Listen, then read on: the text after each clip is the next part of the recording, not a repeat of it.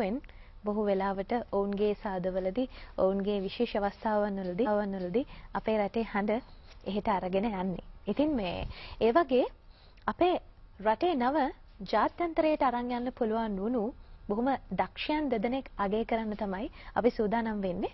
සමහර විට ඔබට මේ කතාබහ බොහෝ දුරට වැදගත් වෙන්නේ ඔබ නොදන්නවා වෙන්න පුළුවන් මෙවැනි තරඟාවලියක් මෙවැනි හැකියාවන් තියෙන දරුවන් අපේ රටෙන් ජාත්‍යන්තරයට ගෙනියන්න පුළුවන් අවස්ථාවන් තියෙනවා කියන දේ. ඉතින් ඔබේ දරුවාටත් මෙවැනි හැකියාවන් තියෙන්න පුළුවන්.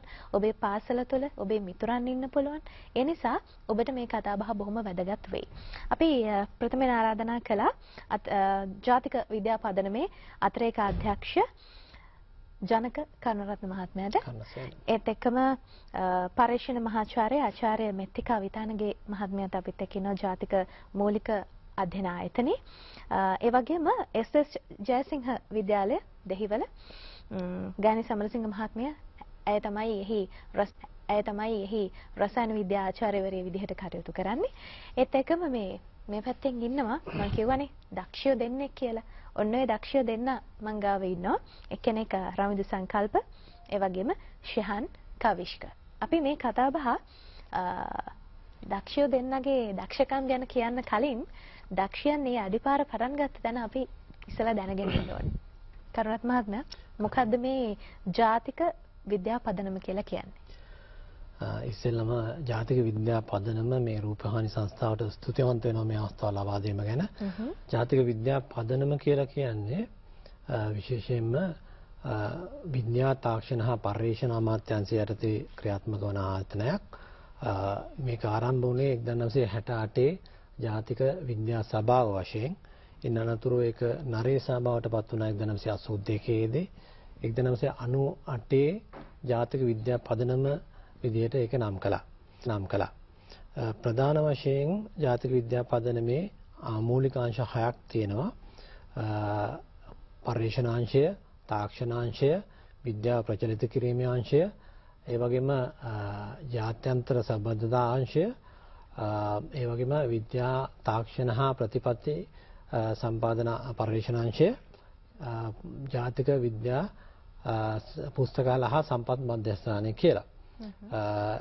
මේ හයින් ප්‍රධානම කාර්ය වෙන්නේ ශ්‍රී ලංකාවේ විද්‍යාඥයින්ට ඒ කියන්නේ විශ්වවිද්‍යාලවල පර්යේෂණ ආයතනවල ඒ වගේම පුද්ගලික අංශයේ සේවය කරන විද්‍යාඥයින්ට තමන්ගේ පර්යේෂණ කරගන්නට අවශ්‍ය කරන මූල්‍ය ප්‍රතිපාදන සම්පාදනය කරනවා. ඒකෙදි විද්‍යා විද්‍යා පරීක්ෂණ කිරීමේදී ඒවට අවශ්‍ය කරන උපකරණ ලබා ගන්නට, ඒ වගේම පරිගණක ආදී ලබා ගන්න සහ ඒ වගේම පරිගණක ආදී ලබා ගන්න සහ අපි කියමු පරීක්ෂණ සහායකයින්ට සහ ඒ පරීක්ෂණ වලට යන වියදම් ජාතික විද්‍යා පදනම මගින් සම්පාදනය කරනවා. ඊට අමතරව ඒ කියන්නේ කවුරු හරි කෙනෙක් නව සොයා ගැනීමක් කරනවා නම් ඒ වෙනුවෙන් උදව් කරන්න කැමතියි. ඇත්ත මේ වෙනුවෙන් උදව් කරන්න කැමතියි. ඒ වගේම විශේෂ අංශයක් තියෙනවා විද්‍යා ප්‍රචලිත කිරීමේ අංශය. ලංකාවේ සිටින ජනතාව මහ ජනතාව අතර විශේෂයෙන් පාසල් ප්‍රජාව අතර විද්‍යාව ප්‍රචලිත කිරීම සඳහා කටයුතු කරනවා. ඒ වගේම තාක්ෂණ අංශය මගින් ලංකාවේ තාක්ෂණ පර්යේෂණ වලට ඒ කියන්නේ තාක්ෂණයන් වැඩි දියුණු කරගන්නට මුල්‍ය ආධාර සපයනවා. ඒකම ජාත්‍යන්තර සම්බන්ධාංශයෙන් අපේ රටේ විද්‍යාඥයින් සොයාගත දේවල් විදේශ රටවලට ගිහිල්ලා ඒ විද්‍යාඥයින් සමග අත්දැකීම් හෝ මාරු කරගන්නට ඒ වගේම ඒ රටවල තියෙන විද්‍යාත්මක පරීක්ෂණ ගැන දැනුවත් කරගන්න දැනුවත් ඒ වගේම ඒ රටවල තියෙන විද්‍යාත්මක පරීක්ෂණ ගැන දැනුවත් කරගන්න දැනුවත්කම ලබා ගන්නට ඒ වගේම ප්‍රතිපාදන සපයනවා. ඒකට කියනවා අපි කියනවා චාරිකා ප්‍රදාන ට්‍රැවල් ග්‍රාන්ට්ස් කියලා. ඒ විද්‍යාඥයන්ට අවශ්‍ය කරන ගුවන් ටිකට්පත් ඒ වගේම එහිදී අවශ්‍ය කරන වියදම් ලබා දෙනවා. ඊට අමතරව ජාත්‍යන්තර විද්‍යා ආයතන සමග සම්බන්ධතා ඇති කර ගන්නවා අපේ රටේ විද්‍යාව දිනු කරන්නට, ඒ රටවල වල අත්දැකීම් ලබා ගන්නට, අපේ රටවල වල තියෙන විද්‍යාඥයන්ට ඒ රටවලට ගිහිලා පර්යේෂණ කරන්නට උදව් කරනවා ජාතික විද්‍යා පදනම. ඒ වගේම ලංකාවේ ප්‍රථම ඩිජිටල් පුස්තකාලය විද්‍යාව සම්බන්ධව තියෙන්නේ ජාතික විද්‍යා පදමේ. විද්‍යාඥයන්ට අවශ්‍ය කරන තොරතුරු නොමිලේ ලබා ගන්නට පුළුවන්. සමහර රට විදේශ රටවල තියෙන දත්ත සැපයුම් වලට ඒගොල්ලන්ට ප්‍රොවිෂන් බැරි නම් ජාතික විද්‍යා පදනම ඒ උදව් කරනවා. ජාතික විද්‍යා පදනම ඔස්සේ ඒ උපකාර ලබා ගන්නට. ඒවා තමයි මූලික කටයුතු. හොඳයි මේ දැන් මෙතික මහත් ගන්නට. ඒවා තමයි මූලික කටයුතු. හොඳයි මේ දැන් මෙතික මහත්මිය ඔබ හොඳ දායකත්වයක් ලබා දෙනවා මේ මේ මේ දරුවන් දෙදෙනාට ඉදිරියට යන්න. ඔබතුමිය කෙරෙන්නේ ඔබතුමියකින් කෙරෙන්නේ ඒ සඳහා අවශ්‍ය කරන මාර්ගෝපදේශකත්වය ලැබීම. ඔව්. මම පැමිණෙන්නේ මහනුවර මූලික අධ්‍යයන ආයතනයේ ඉඳලා ජාතික මූලික අධ්‍යයන ආයතනයේ අපි බොහෝ ආචාර්යවරු මහාචාර්යවරු පර්යේෂණවල නිරත වෙනවා. විවිධාකාරයේ පර්යේෂණ කටයුතු වල නිරත වෙනවා. ඒ අතරතුර අපිට අපි ගොඩක් වැඩ කරන්නේ පශ්චාත් උපාධි නිබන්ධනය සම්බන්ධයෙන් කරන පර්යේෂණ කරන ශිෂ්‍ය ශිෂ්‍යාවෝ එක්ක. ඊට අමතරව මට මේ හම්බුණ අවස්ථාව ජාතික විද්‍යාපදනමෙන් දියත් කෙරෙන මේ පාසල් සිසු දරු දරුදරියන්ගේ පර්යේෂණ එලි දක්වන්න නැත්නම් පර්යේෂණ වලට අත් උදව් කරන්න අවස්ථාව තමයි මේ මට අවස්ථාව තමයි මේ මට ලැබුණේ. ඒ අවස්ථාවේදී මට දෙහිවල එස්.ඩී.එස්. ජයසිංහ මධ්‍ය මහාවිද්‍යාලයෙන් දරුවන් දෙදෙනෙක් බාර දුන්නා. අතරම දරුවන් හතර දෙනෙක් මට ලැබුණා පර්යේෂණ දෙකක් සඳහා. මම මේ පර්යේෂණ දෙක මගේ පර්යේෂණ ගොඩක් වෙලාවට කෙරෙන්නේ පරිසරයේ තියෙන නොයෙකුත් අපද්‍රව්‍ය නැත්නම් බැරලෝහ නැත්නම් විවිධාකාරයේ රසායනික ද්‍රව්‍ය පරිසරයෙන් ඉවත් කරන්නේ කොහොමද කියන එක ගැන තමයි මම පර්යේෂණ බොහොමයක් සිදු කරන්නේ. ඒ පර්යේෂණ දිත්වයක් මම මේ දරුවන් හතර දෙනාට යොමු කරා. මේ දරුවන් හතර දෙනා බොහොමත්ම කැපවීමෙන් වැඩ කරලා ඒ දරුවන් හතර දෙනාම ජාතික විද්‍යාපදනමේ තරංගාවලියට සහභාගී වෙලා ඒ තරංගාවලියෙන් ලංකාවේ හොඳම දස දෙනා අතරට තේරිපත් වුණා. එතනින් මේ දෙන්නට පුළුවන් වුණා පළවෙනි ස්ථානය ලබා ගන්න. මගේ පර්යේෂණයට පුළුවන් වුණා පළවෙනි ස්ථානය ලබා ගන්න. මගේ පර්යේෂණයේ මූලික අරමුණ මේ දෙන්නගේ එක් අධීක්ෂණය කෙරුණ පර්යේෂණයෙන් අපි සිදු කරේ අපජලයේ තියෙනවා බැරලෝහ විෂ ගොඩාක් විෂ සහිතයි අපේ සෞඛ්‍යයට. ඒ සෞඛ්‍යයට අහිතකර බැරලෝහයක් වන ක්‍රෝමියම් කියන එකේ ක්‍රෝමියම් 6 කියන සංයුජතාවය දරන අති විෂ සහිත අයනය කොහොමද අපජලයෙන් ඉවත් කරන්නේ කියන එක ගැන තමයි මම මේගොල්ලෝගේ පර්යේෂණ අධීක්ෂණය කරේ. රවින්දු දැන් පාසලේදී සාමාන්‍යයෙන් කරනවා වගේ නෙවෙයි තරඟට ඉදිරිපත් කරනකොට දැන් පාසලේ තියෙන අධ්‍යයන කටයුතුත් එක්ක මේ දේවල් කොහොමද පටන් ගත්තේ කොහොමද මේ අදහස ඇති වුනේ? ඇත්තටම ජාති විද්‍යා පදනමෙන් සෑම වර්ෂයක් පාසා මේ තරඟ සංවිධානය කරනවා. ගිය අවුරුද්දේ අපේ පාසලට න්‍යාය පත්‍රය ආවා. විදුහල්පතිතුමා හරහා රසායන විද්‍යා ගුරු මහත්මිය හරහා අපිට යොමු වුණා ඒක. ඒකෙදි අපිටත් හිතනවා වගේ රිසර්ච් එකක් කරන්න මොකද අපි උසස් රිසර්ච් එකක් කරන්න මොකද අපි උසස් විද්‍යාංශය හදාරන නිසා. එහිදී අපි තියෙන ලෝකෙට තියෙන ප්‍රශ්නයක් ලංකාවේ තියෙන ප්‍රශ්නයක් වෙන්නේ මොකද්ද? ඒකට පිළිතුරක් සොයන ගත්තා නැත්නම් පරීක්ෂණයක් කියලා කියන්නේ. අපි මේ ප්‍රශ්නයක් ඔස්සේ යද්දී අපිට හිතුණා මේ පිළිකාව මේ වගේ දෙයක් ගැන විසඳුමක් කරන්න ඇත්තටම වටිනවා කියලා. රවිද චුට්ටක් එන්න අපි වෙලාව බලලා ඉමු.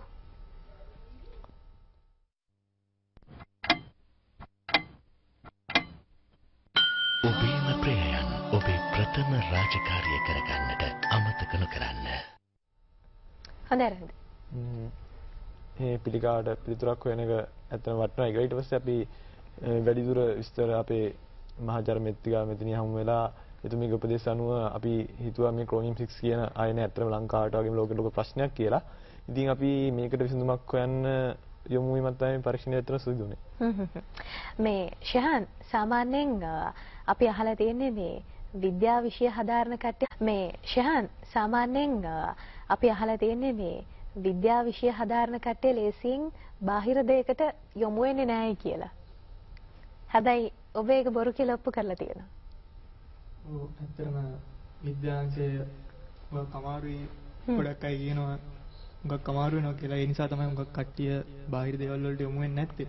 ඒත් අපිට මේ පර්යේෂණ ශාස්ත්‍රයට උඟක් ආසාවක් ඇති වුණා මේ තරංගයත් සමග. ඒ නිසා තමයි මේකට යමු වුනේ. හොඳයි. මේ රසායන විද්‍යා ගුරුතුමිය ඉන්න නිසා මහන්න ඕනේ.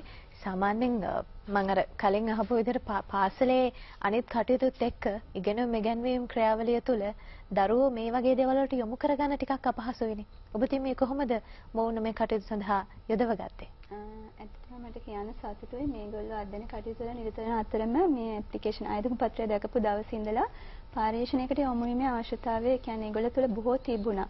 ඒ උනන්දුව මත තමයි මමත් ඇත්තටම පරීක්ෂණ ක්ෂේත්‍රයට ආසයි. ඒකත් එක්ක තමයි මම මේගොල්ලන්ව යොමු කරන්න බැලුවේ. මොකද මම අපි පරීක්ෂණයක් සිදු කළේ විශ්වවිද්‍යාලයක අවසාන වසරේදී. ඉතින් මේක තුලින් ලබා දෙන්න පුළුවන් අත්දැකීම් බහුල බව මම දැනගෙන හිටියා. ඒකෙහිඳ මට ඇත්තටම මේක ජාතික විද්‍යාපදනමට ස්තුතිවන්ත වෙන්න ඕනි.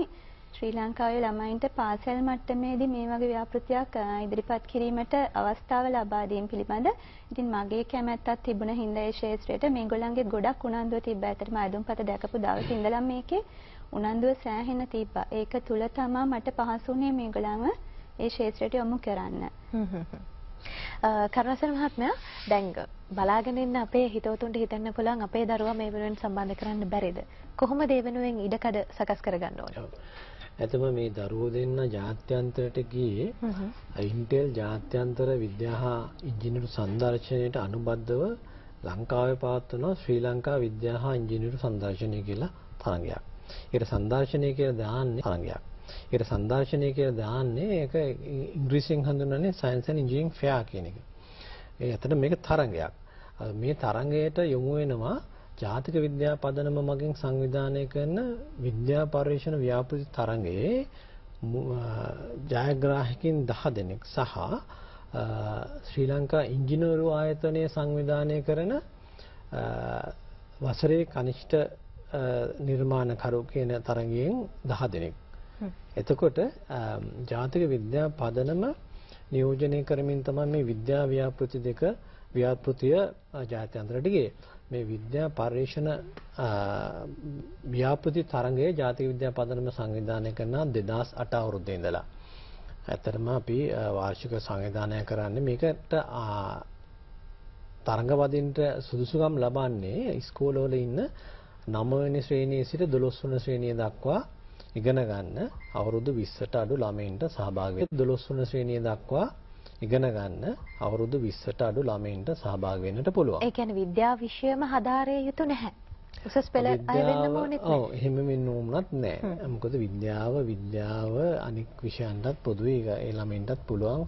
මොකද විද්‍යාව විෂයක් වශයෙන් හදාරන ඕනේ 9 ඉඳලා කියන්නේ 6 ඉඳලා. ඒක නිසා එතකොට ඇතර මේකේ අපේ අරමුණ වෙන්නේ මේ ලංකාවේ ශිෂ්‍යයන් අතර විද්‍යාත්මක පර්යේෂණ සඳහා පෙළඹවීමක් උනන්දුවක් ඇති කිරීම තමයි. දැන් අනිත් පාසල් කොහොමද විද්‍යාපදනම එක්ක සම්බන්ධ වෙන්නේ? මෙහෙමයි. විශේෂයෙන් අපි 2005 අවුරුද්දේ ඉඳන් විශේෂ වැඩසටහනක් ආරම්භ කළා පාඨශාලීය විද්‍යා සමාජ වැඩසටහන කියලා. මේ වෙනකොට ලංකා පුරාම තියෙන දිස්ත්‍රික් වලින් සෑම පළාතක්ම නියෝජනය කරමින් විද්‍යා පාඨශාලා විද්‍යා සමාජ 824ක් අපිත් එක්ක ලියාපදිංචි වෙලා තියෙනවා. ඉතින් අපි මූලික වශයෙන් ඒගොල්ලන්ට තමයි ආරාධනා කරන්නේ මේ තරගයට සහභාගී වෙන්නට කියලා. නමුත් අනික් පාසල් වලටත් සහභාගී වීමේ බාධා නමුත් අනික් පාසල් වලටත් සහභාගී වීමේ බාධාවක් නැහැ. ඒගොල්ලන්ටත් අපේ නොමිලේ ලියාපදිංචි වෙලා සහභාගී වෙන්නට පුළුවන්. ඉතින් සාමාන්‍යයෙන් අපි කරන්නේ අවුරුදු මුලදී මේ වෙනට 2017 සඳහා තරඟය අපි පටන් ගත්තා. සෑම පාසලකටම ලියනවා මේ ආයුධම් පත්‍ර සමග විදුහල් පොතේ ලියනවා මේ තරඟයට ආයුධම් පත්‍ර එවන්න කියලා. ඒකක් තමයි ගිය අවුරුද්දේ මෙතුමිට ලැබිලා තියෙන්නේ. ඒක නිසා එතකොට මේ පාසල් වල විදුහල් පොතේ අපිට මේ ආයුධම් පත්‍රය පුරවලා එවනවා.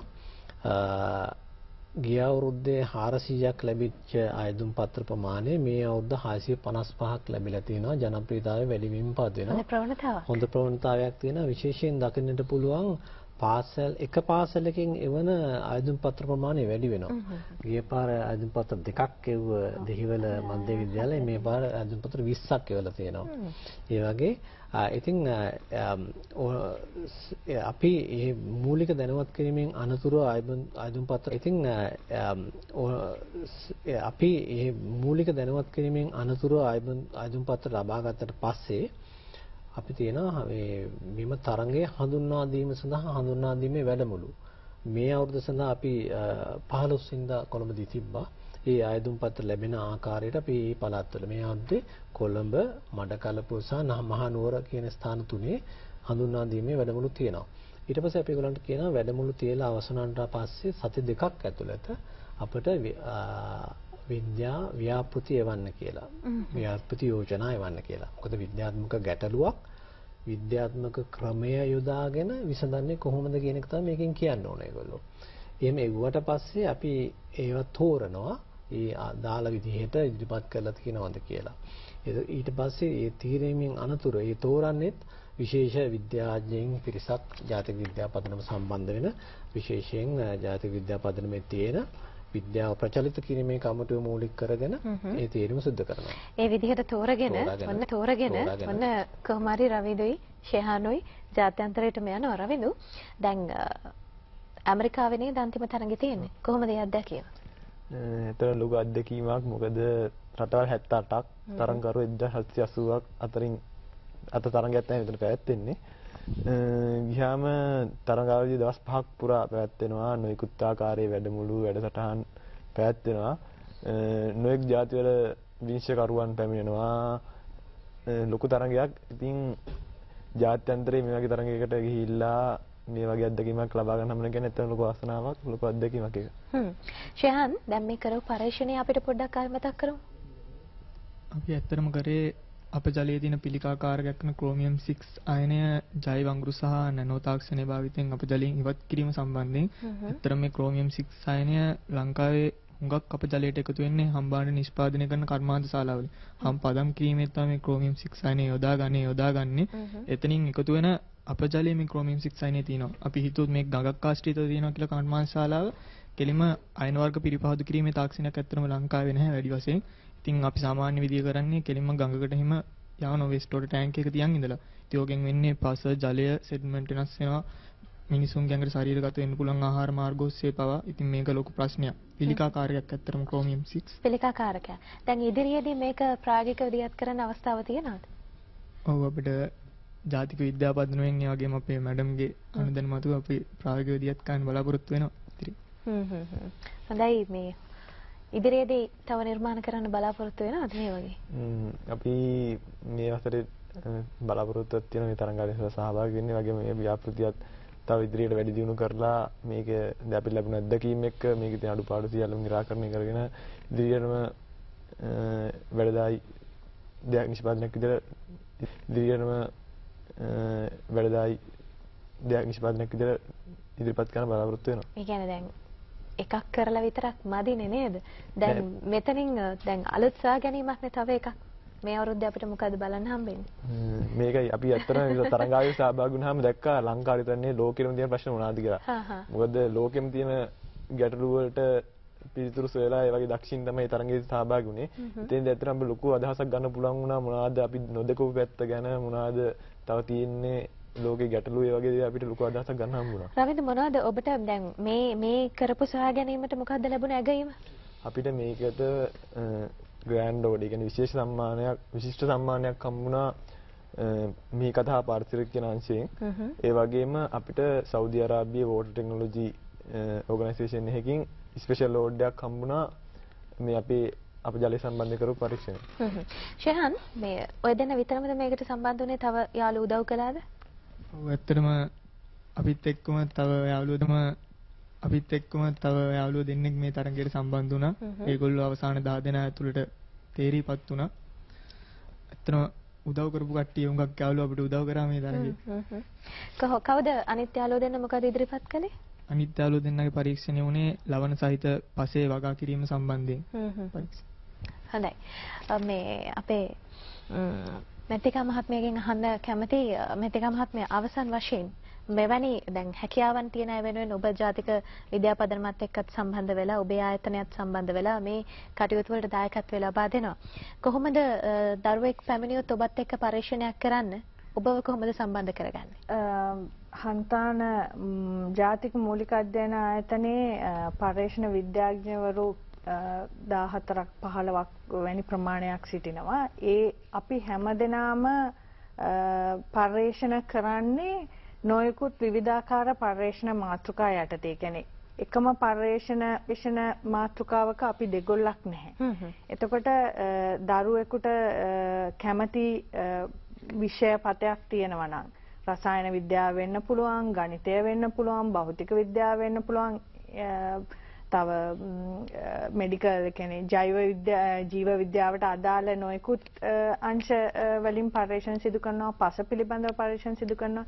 ඒතර මේ විවිධාකාර පැති ඔස්සේ ජාතික මූලික අධ්‍යයන ආයතනයේ පර්යේෂණ සිදු කරන නිසා දරුවෙක් සිටිනවා නම් ඒ දරුවට කැමැත්තක් තියෙනවා නම් කුමක් හෝ පර්යේෂණයක් එයාගේ ඔළුවේ තියෙනවා නම් ඒ පර්යේෂණයට අපිට අත්උදව් දෙන්න හැකියාව තියෙනවා. ඊට අමතරව අපිට යොමු වෙනවා නම් දරුවෙකුට උදව් කරන්න පාසල් සිසුවෙකුට ශිෂ්‍යාවකට උදව් කරන්න පර්යේෂණයක් කරන ආකාරය නැත්නම් පර්යේෂණයකට මෙන්න මේ වගේ තොරතුරක් තියෙනවා. අපිට මේ ඔස්සේ පර්යේෂණ දින මේ වගේ තොරතුරක් තියෙනවා. අපිට මේ ඔස්සේ පර්යේෂණ දිගටම සිදු කරන්න ඕනේ ඕනේ කියන කැමැත්ත තියෙනවා නම් අපේ විවිධාකාර පර්යේෂණ විද්‍යාඥවරු ඉන්න හින්දා ඒ කවුරු හරි කැමැත්තෙන් ඉදිරිපත් වෙලා නැත්නම් අපිට යොමු කරාම අපේ අධ්‍යක්ෂකතුමා අපි විද්‍යාඥ කාට හරි යොමු කරාම අපිට පුළුවන් ඒගොල්ලන්ට උදව් කරන්න. පර්යේෂණ